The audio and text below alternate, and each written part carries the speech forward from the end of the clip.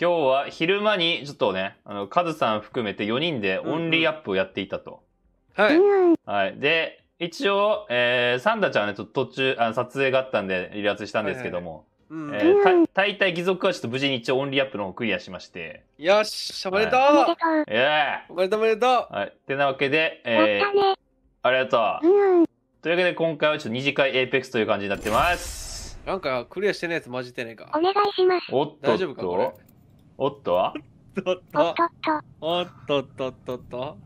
え、でもいなんか、やでもね、またなんかね、なんかリベンジするとなんか言ってたよな。うん、ねなんかね。はいはい嫌だ。はい。やだ。え、だってこの後だって二次最会。この後二次会エーペックス終わった後に三次会で一人でオンリーアップやるとかなんか言ってたバケモンすぎだろ。怖いよ。メンタル強すぎる。夜